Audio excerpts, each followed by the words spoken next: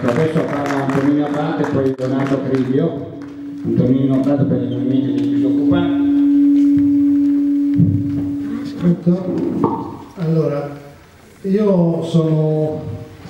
una persona che ha 60 anni e che per fortuna ha lavorato in modo continuo per tantissimi anni e poi la mia azienda, che poi era la Nokia Siemens, quindi non un'aziendina, ha pensato bene che mentre comprava l'Alcatel, quindi un'altra azienda piena di soldi, ha pensato bene di licenziare, nonostante che già, nonostante che già avesse fatto una riduzione a fior di quattrini incentivando l'uscita, no? creando anche esodati, però da 2009, da 2009, dal 2007 nel 2014 eravamo in 500, da 2009 500. Nonostante questo ho voluto licenziare altre 110 persone in modo appunto cruento e io ero una di queste persone. Faccio questa storia solo perché non è mia personale. Ho fatto causa, ho vinto, proprio a supporto di quello che diceva adesso il Montorio, ho vinto il reintegro, l'azienda non mi ha reintegrato davanti a una sentenza, mi ha rilicenziato con un licenziamento questa volta individuale e nonostante che io abbia l'articolo 18, così dicono che chi è stato assunto prima ce l'ha, i giudici di Milano per la stessa motivazione, cioè riorganizzazione, che non vuol dire niente, una multinazionale basta dire che mi sto riorganizzando, praticamente mi hanno licenziato nuovamente e ho perso la causa. Ho perso la causa. Cioè la, in questo momento i giudici non, non, non ti riconoscono nemmeno, nemmeno l'indennizzo economico, perché poi la Fornero ha introdotto questa cosa, questa cosa gravissima, perché per un'azienda come la mia, che appena licenziato ha detto se vuoi ti do 22 mesi e lascia la causa, capite? Quando un'azienda ti dà i soldi, hai perso il lavoratore, perché il lavoratore ha perso il lavoro, l'azienda con quei soldi dopo un anno ha già ammortizzato quel costo quindi l'azienda vince, quando, quando, ti dicono, come dice la Fornero, indennizziamo, e a maggior ragione come dice, eh, come dice la, il Job Act, no? che dice guarda io ti do solo un indennizzo, praticamente chi perde erano quelle famose cautele che non era stato un caso che si davano delle cautele per i lavoratori, perché non erano sullo stesso piano, non erano con la stessa forza l'imprenditore e il lavoratore. Quindi l'articolo 18 serviva a controbilanciare questa cosa. E invece purtroppo adesso l'azienda fa quello che vuole e lo capiamo da tante cose. Arriviamo invece al numero dei disoccupati, velocissimamente. Diciamo, noi eh, abbiamo una serie di richieste amplissime. Una che può sembrare strana è per esempio dell'opzione donna. Noi diciamo, ma se uno è disoccupato, magari non ha neanche 57 ma ne ha 60 e ha 35 anni, perché non può usufruire se ci fosse l'opzione donna, anche se uomo, perché il problema è proprio lì, di chi è rimasto senza lavoro e senza pensione. Cioè chi è in questo guado, chi è in questa situazione, ma non ha 40 anni, stiamo parlando di gente comunque oltre 55 anni,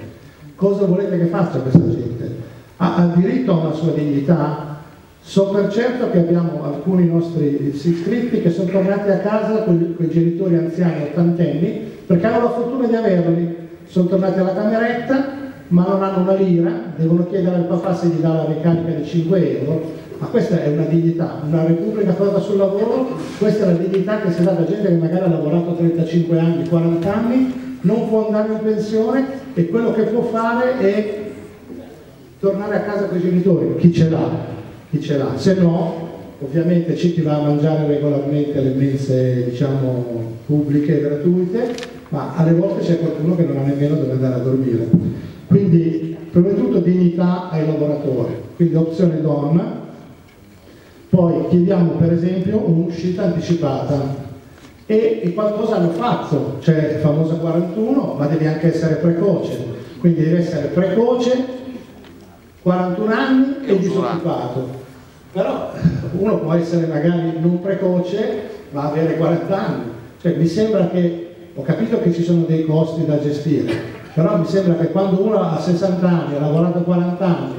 quindi una famosa quota 100 potrebbe essere una cosa assolutamente realizzabile perché costerà qualcosa, ma ci sono fior di, di, di soldi che vengono spesi appunto per 80 euro, per altre situazioni e secondo me è inutile che tu crei chissà quali situazioni per una persona che ha già lavorato da 35 a 40 anni, c'è già 60 anni, cosa vuoi fare? Cioè dovrai comunque andargli a, a, a, dare, a, dare, dei soldi, dovrai comunque il comune andrà dal comune, dovrà, dovrà quindi alle istituzioni, queste persone, o perché non possono pagare il mutuo, non possono pagare l'affitto, andranno comunque a chiedere, a chiedere, quindi alla fine cioè non è vero, cioè, il governo magari non destina, destina nessuna lira, ma poi alla fine la società deve pagare per queste persone, perché se no si, si ritrova una rivoluzione. Quindi alla fine si va a chiedere qualcosa che in fondo non ha un costo. Poi come spiegava bene l'opzione donna, se tu gli fai il calcolo contributivo,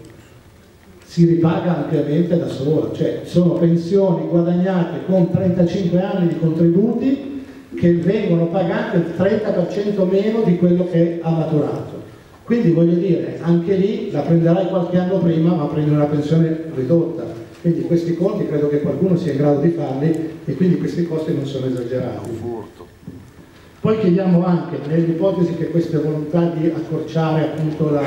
l'accesso la, alla pensione per chi è disoccupato, magari da anni e non è giovane, per esempio poter pagare dei contributi volontari ma con un forte sconto, perché nel mio caso che avevo la fortuna di avere un buon lavoro, guadagnavo 2000 euro, eh, devo pagare 16.500 euro l'anno, l'anno. A me ne mancano 4, io ho finito anche la NASPI, l'ho finita a dicembre, mi mancano ancora 4 anni perché dovrò lavorare 43 anni rotti perché mi becco due adeguamenti, 5 mesi e i 3 mesi del 2021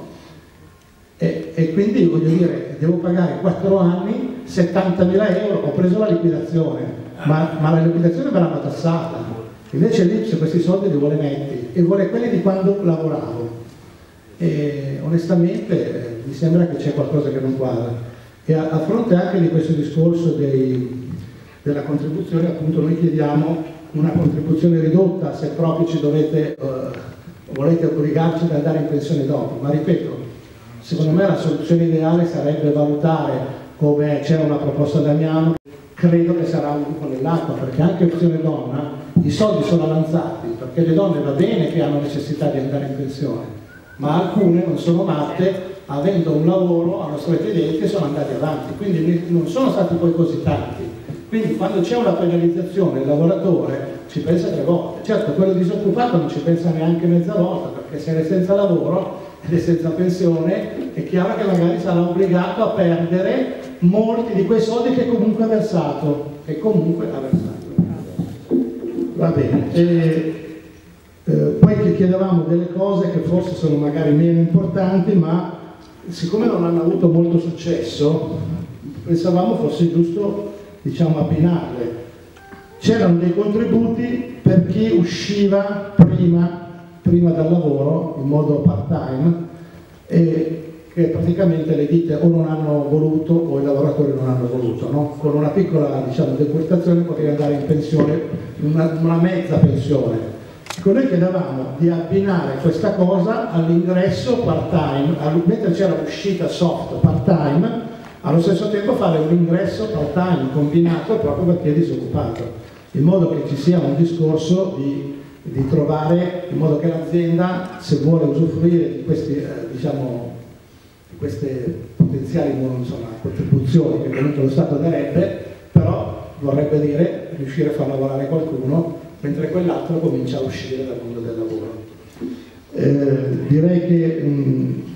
non, non vorrei aggiungere altro, poi farò un altro intervento, ma non per, per monopolizzare, ma perché ho invitato anche i caregivers, che sarebbero chi accudisce il familiare disabile. Loro non so di venire perché una è in Toscana e l'altro era dopo Bergamo. Mi hanno mandato due righe che io poi riferirò, ma prima faccio parlare qualcun altro e, e poi eh, faccio un intervento per i caregiver familiari che anche loro non sono pochi perché molti di noi penso che abbiano, se non un figlio come nel mio caso, perché ho appena sul bagnato un figlio disabile dalla nascita, c'è anche chi ha la mamma che poi diventa disabile e, e quindi queste situazioni le vivono molte famiglie italiane e che fanno questo mestiere così meritorio gratuitamente e poi vi spiegano qualche dettaglio di strutture della legge che hanno fatto sulla... Ah, ecco, l'ultima cosa, e questo vale per, per tutte le categorie di chi ha parlato oggi, ma per tutte queste categorie che hanno delle difficoltà, perché hanno perso il lavoro, perché hanno già lavorato 41 anni, perché è disoccupato deve pagarsi i contributi, ma l'adeguamento dell'aspettativa di vita, ma è assurdo, cioè se uno già deve pagarsi 4 anni e non sa come fare, uno accetta che gli decurtino la pensione, ma tu mi, fai, mi aggiungi 5 mesi e poi nel 2021 altri 3 mesi, ma mi sposti il traguardo, ma riconosci che ho delle difficoltà, tutte queste categorie, dico tutte, e non quelle gravose, perché non fa, si sono inventati il lavoro gravoso. Ho capito che non sarà gravoso, ma se sono disoccupato tu mi aggiungi 5 mesi e poi altri 3 diventano 8, se sono disoccupato già non ho i soldi per pagarmi i contributi, mi devo pagare 8 mesi in più, che nel mio caso sono so, 12.000 euro in più. E dove li prendo? Se, se, se, da oggi io non ho più stipendio, non ho più niente.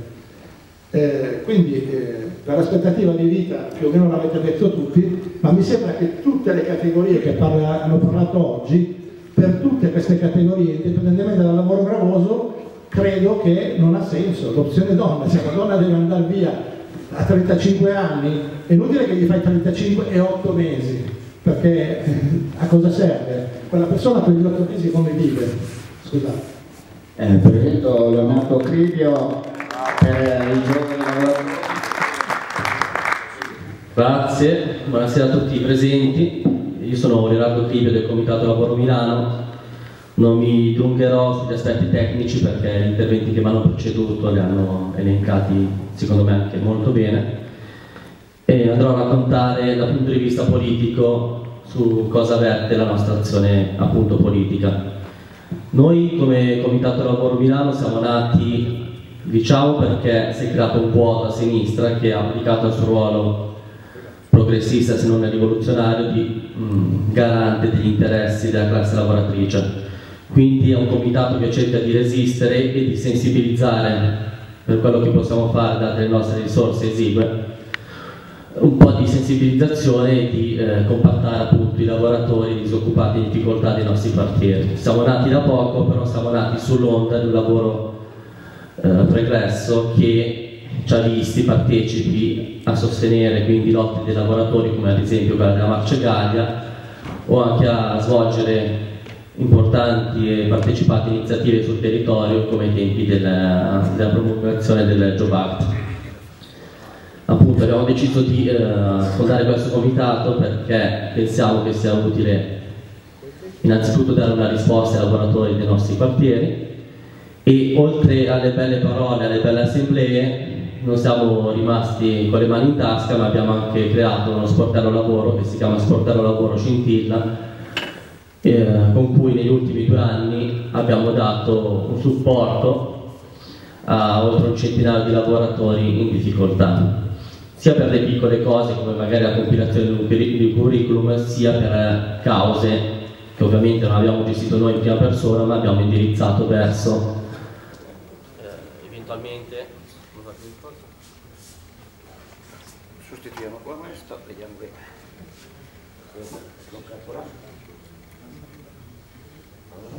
Prova, ok, eventualmente verso avvocati del lavoro e così via. Noi ci battiamo perché venga abolita, vengano abolite le controriforme che si sono susseguite negli ultimi quasi 30 anni ormai, 25 anni tutti, attuate da governi sia di centrodestra che di centrosinistra. Eh, ci siamo riuniti per dire no a chi voleva una divisione generazionale,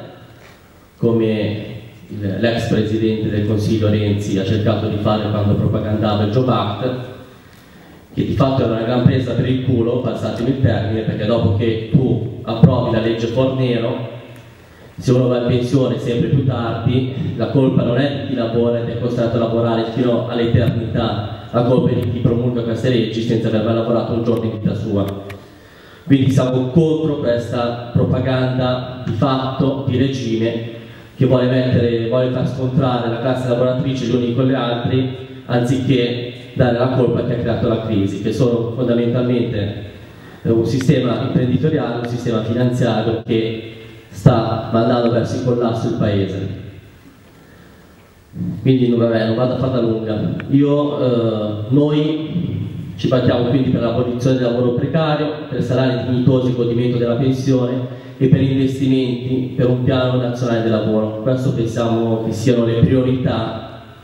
che qualsiasi forza politica che si presenti alle elezioni deve affrontare nel proprio programma elettorale. Quindi le domande che poniamo è questa ai candidati che poi vorranno rispondere. La prima è se siete per l'abolizione della legge Forniere del Job Act e nel caso come pensate di trovare le risorse. La seconda domanda riguarda invece il paradigma, se siete disposti a cambiare il paradigma in cui vengono pensate le politiche, quindi che al posto di mettere al centro gli interessi appunto imprenditoriali e finanziari si metta al centro la classe lavoratrice di questo paese, quindi se siete disposti a rompere con i trattati europei, quindi con l'Unione Europea e con l'Euro. E la terza domanda riguarda un futuro che si sta sempre più avvicinando,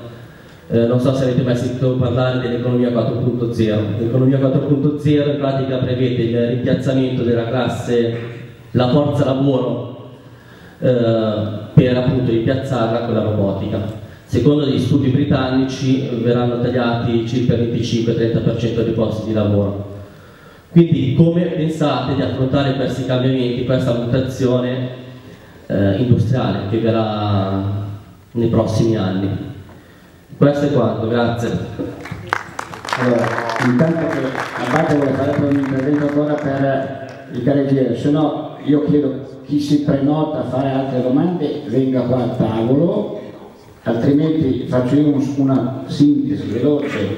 delle domande che abbiamo posto ai candidati, perché ne è arrivato anche un altro, eh, Sen Gianmario, Gianmarco, e, e quindi eh, purtroppo alcuni di loro un paio mi hanno già segnalato che hanno problemi dovranno via per le sei e mezza, magari daremo loro la precedenza. Le domande che abbiamo posto e anche inviato via mail a quelli che hanno, ci, ci, hanno contattati e che abbiamo con loro inviato dei documenti è appunto abrogazione, revisione, azzeramento o modifica della legge Fornero, come? blocco o modifica dell'aspettativa di vita, nona salvaguardia per gli esodati esclusi, definitiva.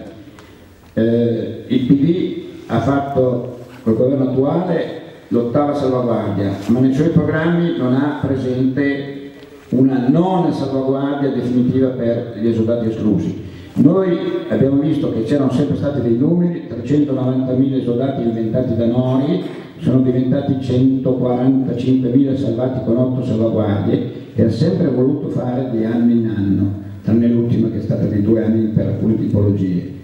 Noi invece dicevamo che bisognava fare un censimento e chi ha accordi precedenti alla legge Fornero di esodo o di mobilità o chi è stato licenziato prima della legge Fornero doveva essere salvato con le norme precedenti alla legge Fornero. Questo l'avrebbe dovuto pre prevedere il legislatore, non l'ha fatto, avrebbe dovuto sanare con un censimento queste situazioni. A noi risulta che ci sono circa 6.000 soldati esclusi, pochi, e quindi ci vogliono neppure 300 milioni in 6 anni.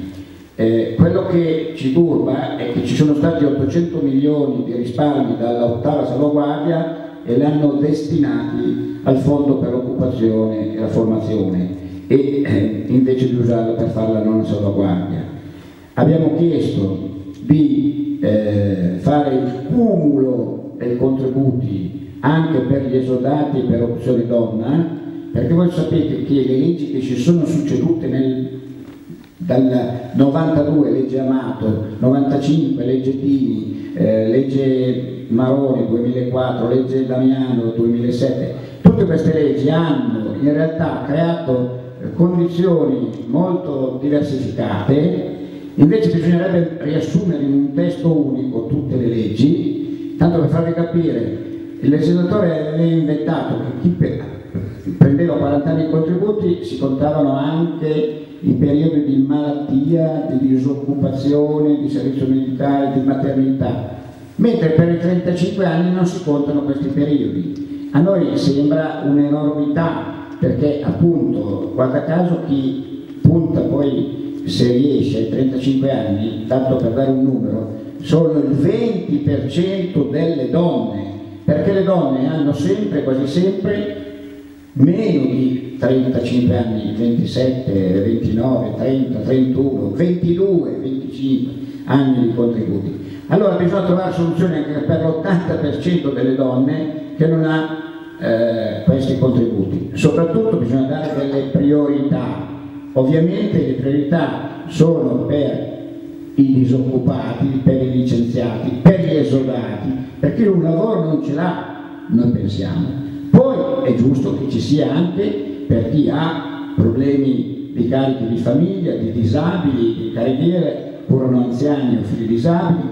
è giusto poi pensare anche a chi vuole uscire dal mondo del lavoro. Si dica se si vuole farli uscire con il contributivo o con l'attuale sistema, che è un sistema misto, o per chi aveva prima del 95, non ormai stanno terminando, più di 18 anni, col contributivo. Contributivo era solidale, perché chi aveva le fasce alte venivano battuti con dei coefficienti, chi invece non è nel sistema contributivo, quindi il sistema contributivo dovrebbe, dovrebbe essere anche corretto, dovrebbe essere eh, per aiutare, per farvi capire chi ha pensioni da fare.